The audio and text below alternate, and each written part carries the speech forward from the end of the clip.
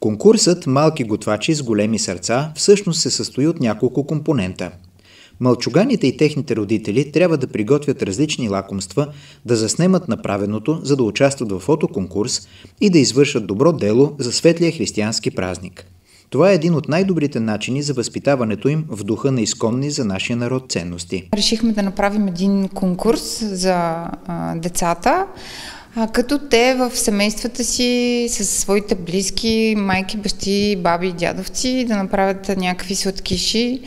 А, и тези сладкиши след това да бъдат занесени в а, а, Дома за стари хора в село Кутово, в Центъра за настаняване на децата в Ново село и в Фундация Уникалните деца на Видин, където има два центъра, един за дневна и за седмична грижа. Инициативата се прия с голям ентусиазъм. И доста родители откликнаха на тази наша идея. В събота, неделя всички, които се включиха в инициативата, са изработили своите сладкиши изделия. Донесоха ги в понеделник и вторник с главния учител Ралица Светанова. Заедно отидохме да ги занесем в центровете и в домовете. И честно казано, всички бяха доста приятно изненадани, особено децата в Ново село. Бяха много а, възхитени от идеята и благодарни. Втората част всъщност на нашата инициатива е така наречения конкурс който е фотоконкурс. Родителите и децата, докато правят самите сладкиши, си направиха снимки, които направихме в едни колажи.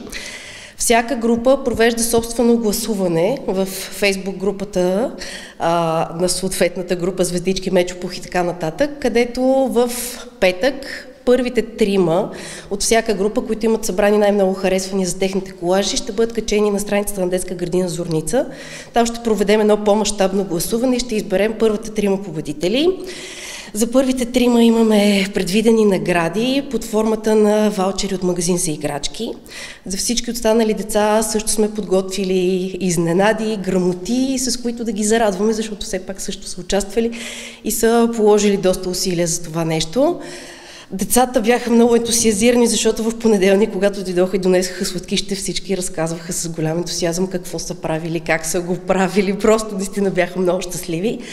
А пък и самото това нещо за мен е много показателно, как а, добрата работа с родителите, която осъществяваме, води до такива хубави инициативи, защото те не се притесняват да дойдат при нас и да кажат, ей, ние искаме да направим ето това, можем ли, как да стане, обсъждаме, коментираме и накрая се случват такива хубави неща. До момента кулинарните произведения на малките готвачи от детска градина Зорница са зарадвали Фундацията Уникалните деца на Видин, Дневния център за деца с увреждания, дневна и седмична грижа, Дома за стари хора в село Кутово, Центъра за обществена подкрепа в Ново село и други. Наградите на победителите във фотоконкурса ще бъдат връчени във вторник, 28 ноември.